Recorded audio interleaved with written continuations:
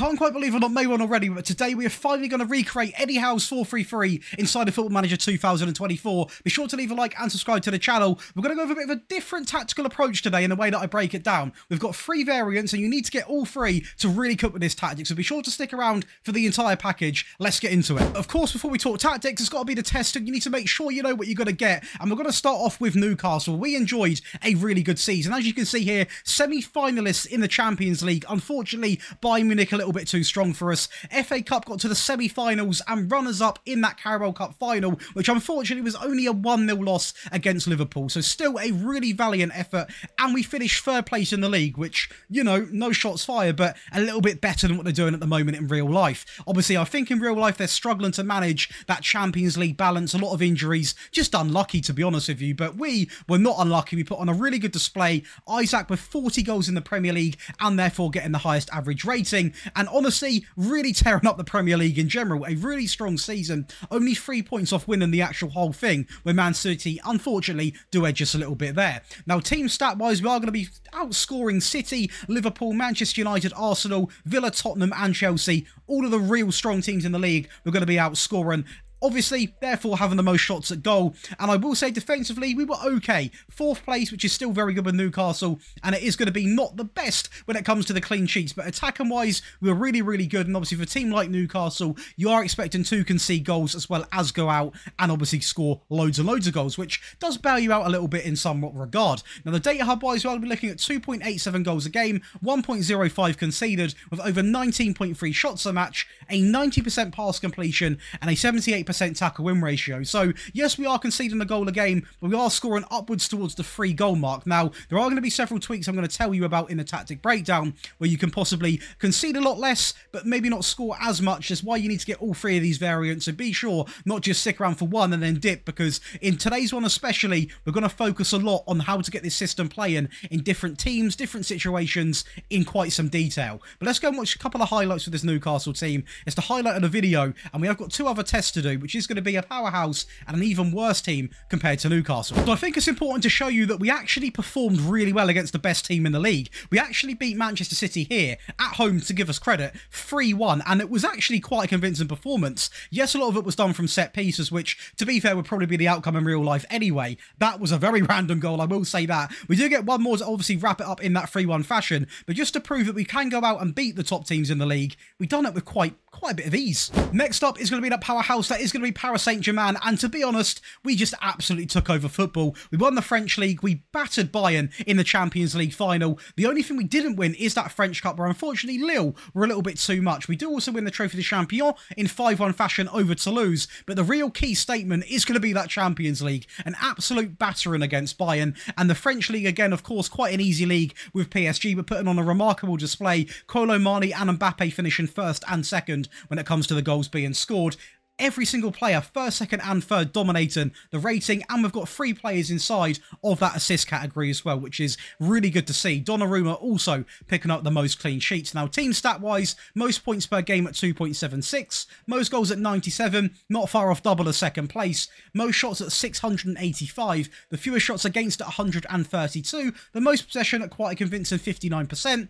the fewest conceded, and the most clean sheets. So, this is it goes to show if you are playing as one of the better teams, the real sort of top team in the league, you are going to absolutely obliterate everyone. And I do think you can replicate this with Newcastle with a couple of seasons of sort of getting some good players in, you know, strengthening those weaker areas. For example, the left back, not that good to be honest. So there are some obviously weaknesses in that Newcastle team, which they are going to need to work on in real life as well. But you can do it in Football Manager, of course, by yourselves by bringing players in. Now the data hub is going to still be very, very good. 2.85 goals a game and talking about strengthening the back line. Once you have got a really strong defence, this is the reality reality, 0.35 conceded, still ripping over 20 shots a game, nearly a 91% pass completion, and a very high tackle win ratio. So you strengthen that Newcastle backline, you could easily replicate that. Champions League final was definitely a talking point. I mean, 6-0 against a full-strength Bayern Munich team. They simply could not hack the Eddie Howe 4-3-3. We got off to a flying start there inside of 13 minutes. It's shocking from Bayern there. We win it back quite high up the pitch into Emery, into an injured Dembele, and is that Neuer? That is going to be Neuer in goal. I can't click on him. It is Neuer in goal. I'll show you afterwards. He had an absolute stinker. You can see there Neuer, um, as he did in real life, to be fair, cost them the Champions League. And um, you know, at the end of the day, we made it look very easy, but truth be told, Bayern Munich obviously is a very, very good team, but when you got a team like PSG, you got a tactic like this, if they get off to a slow start and Neuer again, he's in no man's land. He's so confused at what he's doing. Should he even be on the pitch? I would have taken him off by now, as it is goal after goal. This is going to be the sixth one to be exact in a very convincing game against a team which, let's just face it, have got some world-class players in. But if you look at the stats, they may as well not have turned up. And lastly, the biggest challenge of the video, that is going to be testing with Birmingham. A team predicted to finish all the way down. You know as bad when you got to scroll down. 17th place where Swansea finished. They were predicted to finish there. We come out and actually win the whole championship get an automatic promotion above Leeds, Southampton,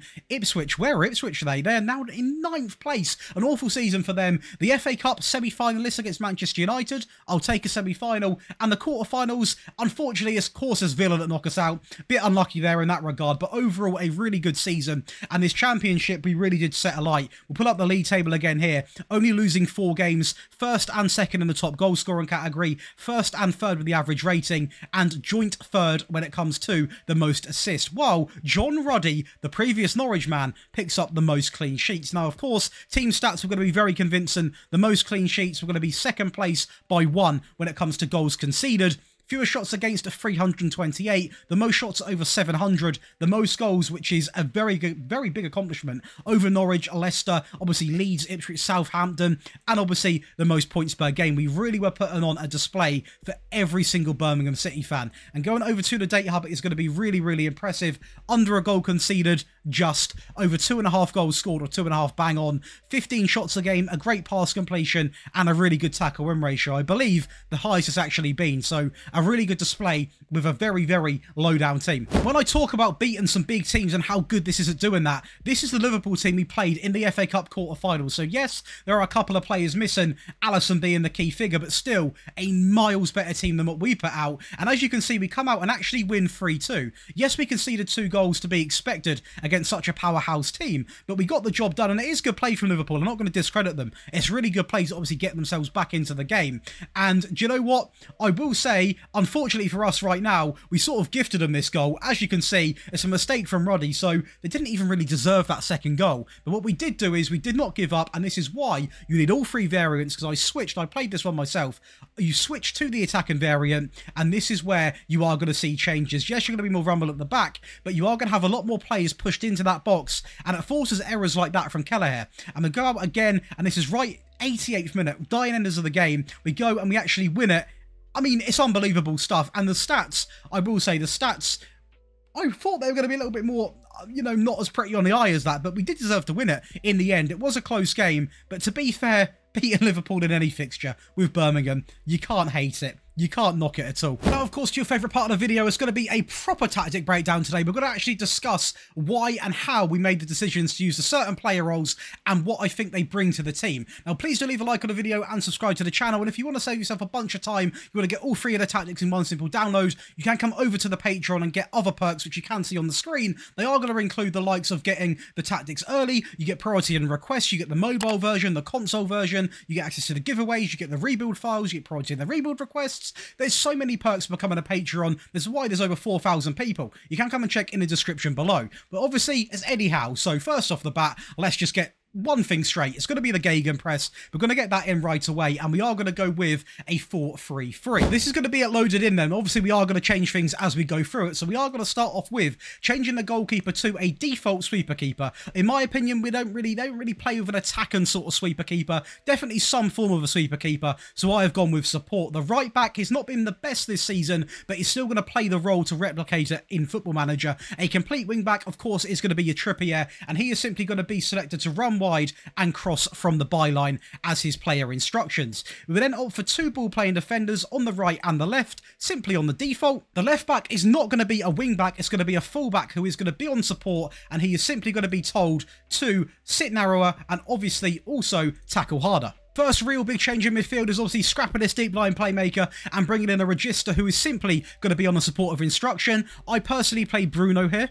Right hand side, we are going to introduce a central midfield player on support with some instructions that is going to be get further forwards and roam from position, which is going to be a nice sort of hybrid between a player who is going to get in really dangerous pockets of the field, will come back and defend as well, but is also going to link up that play to the front three. And next to him, we have gone with a default on attack Mezzala. So it's a nice mixture of players in that midfield. It's quite aggressive, quite a fast-paced midfield. Obviously, that does represent Eddie Howe's system. Very intense, always. On the left, we're going to change this to a supportive winger with some instructions, of course. They are going to be on, let me go on to it, it is going to be set to run wide and get further forwards. The right-hand side, we are going to change things to an inverted winger who is going to be on the supportive instruction with two additional things, which are going to be roam from the position and sit narrower. So these wingers are going to offer something a little bit different. On the left, we're going to be running wide because this fullback is not going to be as attacking, not going to be bombing up the field too much. And on this option, we are going to tell him to sit narrower and roam because obviously Kieran Trippier, as a complete wingback, who is going to be running quite aggressively up that side,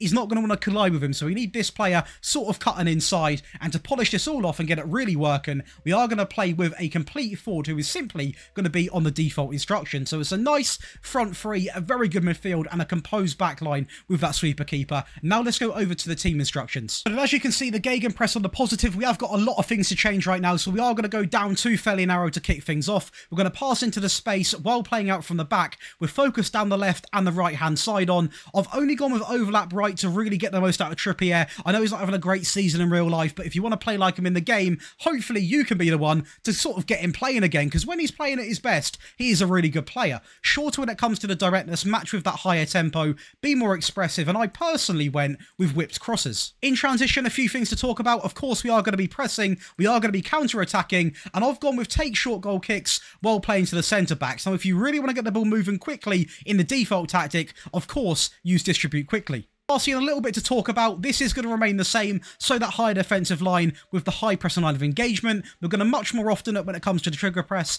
We are going to prevent short goalkeeper distribution, and we are also going to take this off, but add the trap outside instruction on. That's going to be a default tactic, but do stick around because you need these other two to really take into that save. But now to that attacking variant to go and score more goals to get back into a game, or if you are playing as a powerhouse, you want to have a bit of fun, you can actually go into your games like this as well. So it is going to be a sweeper keeper on the support, a complete wing back on the right, on support, on take more risks, cross from the byline, dribble more and run wide. The fullback on the left is now going to be getting further forwards and sitting narrower still. Both of the ball playing defenders are going to be, if you wish to, on dribble more. For me, because this Newcastle team has a mixture of players that I feel comfortable doing that, on the left-hand side, I have gone with dribble more, but if you are playing as a powerhouse, most likely both of your ball-playing defenders are going to be quite good on the ball, so you can have dribble more on both of them. If you want to be somewhat safe like me, have dribble more selected on one of them. The regista in the midfield is still going to be on support. A box-to-box -box comes in on the right, on shoot more often, and get further forwards. And next to him, the Mezzala is still going to be on a default, because by default, he's going to be very attacking anyway. He's got five instructions, and you don't really need to add anything on purely for the sake of it. On the left, we've got the winger on attack now, on run wide with the ball. Again, he has five instructions anyway. He doesn't really need anything else. And on the right-hand side, we've got that inverted winger now set to attack on roam and sit narrower, while the complete forward goes from support to attack simply on the default. Again, the custom Gegenpress, this time all the way set to attacking, on fairly narrow, pass into space, overlap right, focus down the left and the left-hand side while playing out from the back. Again, you can have overlap left on, but I really am focusing on the right-hand side with Trippier banking on he gets back into form. We're going to go with shorter when it comes to the directness. We're going to max out the tempo We've been more expressive, and we are not going to change. We've got no reason to. We're going to keep the whipped crosses. In transition, the only real change is the optional change I suggested to you earlier is going to be distribute quickly going to be selected with the previous counter, counter press, pray to the centre backs while taking short goal kicks. And lastly, out of possession, of course, it's not going to look like this. We're going to go with the high pressing line of engagement, the higher defensive line. We're going to trap outside. We're going to max out the trigger press. And of course, no reason to change it prevent short goalkeeper distribution is going to be selected. Now to defend those games. And to defend those games out, we're going to go down a bit more of a possession-based, bit more of a time-wasting sort of approach. We've seen him do it in real life. Let's not hide the fact. It's going to be a sweeper keeper simply on support, a wing back on the right on support on run wide, two default ball-playing defenders, with the fullback being simply on support, no additional instructions required. The regista get scrapped. We bring in a DM simply on defend, do your job, defend, nothing too flashy. A central midfield player comes in on defend as well, so two of the three midfield players are going to be very defensively focused, with the Mezzala now dropping to support, who by default has four custom instructions. The winger on the left is going to be set to support on run wide and get further forwards, and on the right is going to be the inverted winger on support on roam and sit narrow. Now, the reason why I've not restricted the wingers as well is because the midfield and the backline have taken quite a bit of a defensive change. We still want them being quite attacking, which is why the complete forward also remains unchanged. So again, the custom Gegenpress on the positive mentality going back to the positive, we're going to go down to fairly narrow, pass into space, focus down the left and the right while playing out from the back, with no overlap and options are going to be required in this system. Shorter, the tempo is going to remain in the middle, with time wasting being quite a big thing, set to frequently, play for set pieces with dribble less on, and those whip crosses. So we're now going to change the DNA pretty much completely from being as aggressive to a bit more of a possession-based team, and when we can, we've got to waste the time, and also play for the set pieces. And I will take this second to say, download my set pieces as well, because with those, you've got to score a lot of goals purely from playing for them. In transition, a little, a few things are going to be changed. So the counter press is still going to be on. We're not going to look to counter right away. We're going to slow the pace down. It helps with the time wasting. We're going to play to anyone across the back line while taking short goal kicks because the four players at the back are going to be quite towards the goal now. So we may as well be the safe option and play to anyone. And of course, we're going to slow the pace down. Helps with the time wasting. And lastly, we are going to deploy the high pressure line of engagement, the higher defensive line much more often and prevent short goalkeeper distribution. But that's going to give you a default version, an attacking version, and obviously the defensive version of this tactic. Let me know what you think of the more in-depth tactical breakdown, actually explain explaining why I've chose him, why I've chose that. Hopefully you like it. If you like football, you should do really. Be sure to leave a like on the video, subscribe to the channel. And if you want to save yourself a bunch of time, you can obviously sign up to the Patreon and get all of those perks. And obviously you've still, I think, I'll look at the date now, you have actually got time to enter the giveaway still, which is the equivalent of £250, part gift card, part sort of voucher, which I will not leak what it is. You can go and check it out in the description. I'll see you in the next one.